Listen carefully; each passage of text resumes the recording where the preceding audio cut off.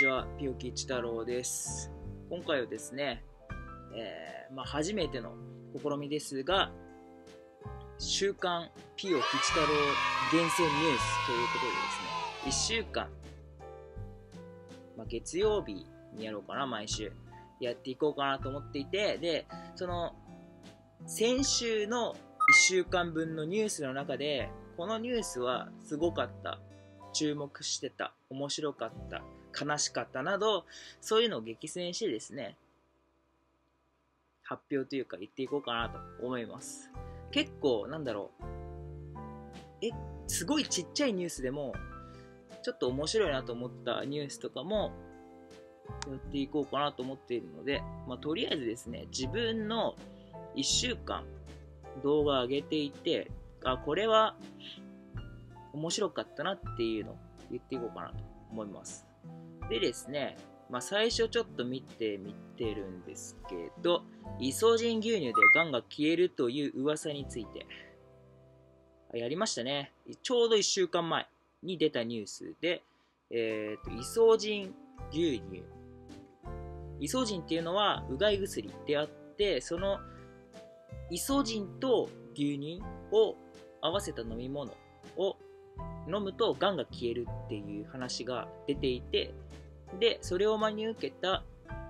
がん患者の方々がすごい飲んでいるんだけど、全然効かなかったっていう話でしたね。まあ、イソジン自体は、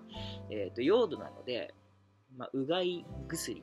であって飲むものではないっていうことですね。はい、飲んじゃいけません。あとは、富田林警察署から逃走中の飛田淳也容疑者に懸賞金が300万円出されたことについて、そうですね、うん、出されました。えーと民間企業から出されたっていうことですね。うん警察から出ないんかいって話なんだけど、確か付近からの情報がすごい多くあって、なんか出されたみたいですね、民間の方から。あとは、とりあえず自分で出した中で、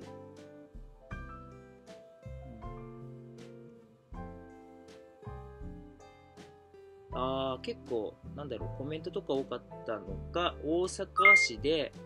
職務質問をしたら、その職務質問をした人が車で暴走して、で、えっ、と、行き止まりのところまで追い詰めたら、バックしだして、思いっきりパトカーにぶつかってきたから、警察官が7発ダーンって撃って、で、2発が、えー足と肩に命中したのかな？で、1人は捕まったんだけど、1人は逃げていてっていう話でした。はい。で、えーと結構意見的には、まあ、日本の警察も撃つよっていうことを示したっていうところと、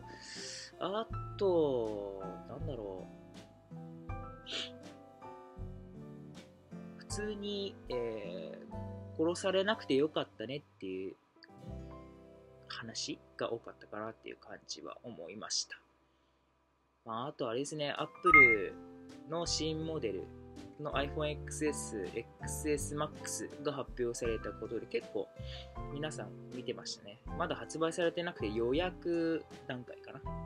ていう感じ。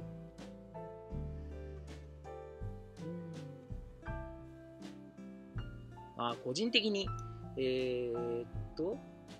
痴漢事件で1年かけて無罪判決受けた会社員の方がいました。冤罪で無罪判決だったんですけど、まあ、1年かかるんかいっていうこととかですね。冤罪なのに1年かかって、しかも弁護士費用とかそういうのかかるんだ、みたいなね。なんでやねん、みたいな感じですよね。あと、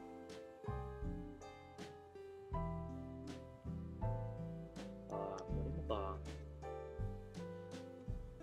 東大阪市でバイクで集団暴走行為をした少年19人が逮捕された事件。パトカーと鬼ごっこをしてみたかったっていう話ですね。まあ、捕まっちゃったけどね。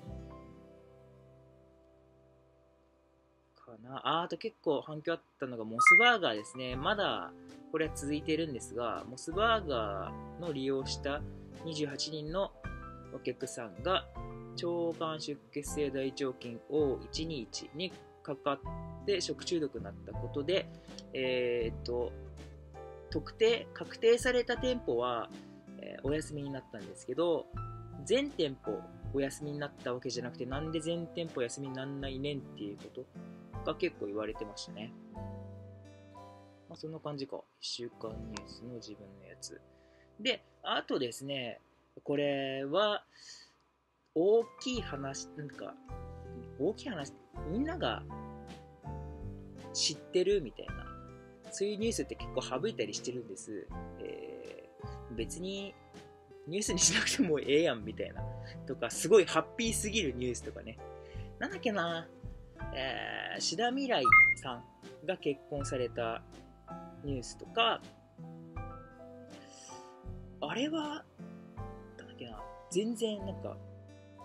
電撃だったってことだよね。全然知られてなくて。まさかみたいな感じのお話でしたね。うん。えっ、ー、と、個人的にすごい好きなので、可愛らしいですよね。まあ、あと、えっ、ー、と、安室奈美恵さんが引退されたっていうところ、9月16日で引退ライブかなとか、あと、キキキリンさんがお亡くなりになったこととかですね、75歳。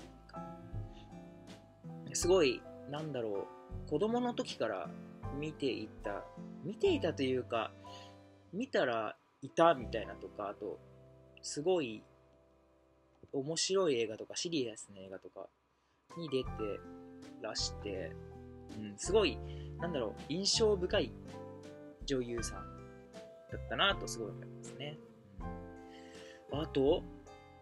きいニュース。あ、あと、あれだ。えーとですね。大谷翔平選手が20号ホームランか、打ったってところですね。松井秀喜、一番近い年で松井秀喜さんが21号打っていって、で、20号打ったと、初年度で。松井秀喜さんの初年度のホームラン数が16本で、まあ、そこはこうやってきたっていうので、二刀流だったし、しかも、年齢的に松井さんは29歳かな？か30歳の頃。で、えー、メジャー1年目。で、大谷翔平選手は、まあ、今24歳で、二刀流、ピッチャーと打者両方やりながらで、20号到達したということで、なんだろう、すごい、日本では、まあ、両方見られてたんですけど、両方見られていて、チャーとして165キロ投げるから、すごいピッチャー1本でいいんじゃねっていう印象の方が多かったですが、まあ、蓋を開けてみると、まあ、肘トミー・ジョン手術受けるかどうかの状態が続いている中、打者として25、しかもそこまで打席数多いわけでなくってるみたいな感じです。まあ、素晴らしいですよね。と、昨日、昨日って言ってもあるか。えっ、と、藤浪晋太郎選手が満塁ホームランを打ったっていう話ですね。まあ、すごかったなと思います。その試合4対20かなだったのかなで、途中から投げて、で、ツーラン打たれた、打たれてるわと思って、次の回かわかんないけど、えー、満塁ホームラン打ちましたね。素晴らしいですね。なんか、気分転換にバッティングするのもいいんじゃないかなってすごい思いました。大体エース級のピッチャーってバッティングもいいので、すごい気分転換になるんじゃないかなってすごい思いましたね。まあ、満塁ホームラン打てるだけの技術があるから、まあ、打てるんじゃないのかな、普通に。かな大体こんな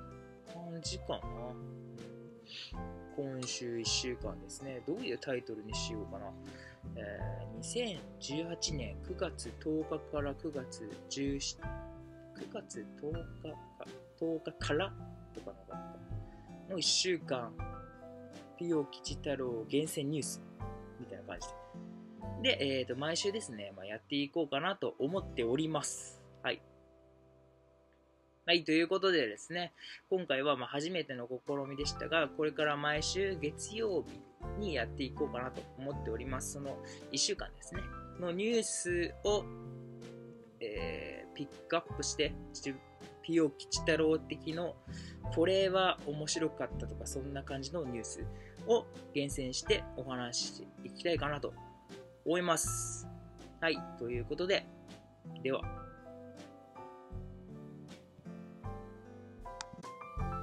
ご視聴ありがとうございます。この YouTube 動画では雑談、